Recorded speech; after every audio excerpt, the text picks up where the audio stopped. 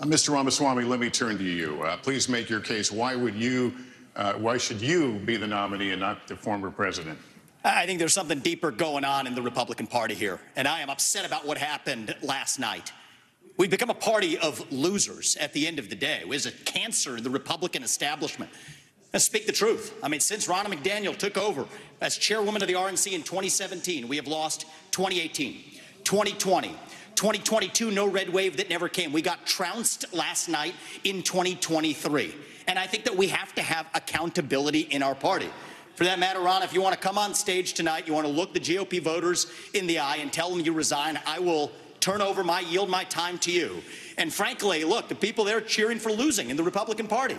Think about who's moderating this debate. This should be Tucker Carlson, Joe Rogan, and Elon Musk. We'd have 10 times the viewership, asking questions that GOP primary voters actually care about and bringing more people into our party. You think the Democrats, I mean, we've got Kristen Welker here. Do you think the Democrats would actually hire Greg Gutfeld to host a Democratic debate? They wouldn't do it. And so the fact of the matter is, I mean, Kristen, I'm going to use this time because this is actually about you in the media and the corrupt media establishment. Ask you the Trump Russia collusion hoax that you pushed on this network for years. Was that real or was that Hillary Clinton made up disinformation? Answer the question. Go. Mr. Ross. Sorry. This is how we get our country back.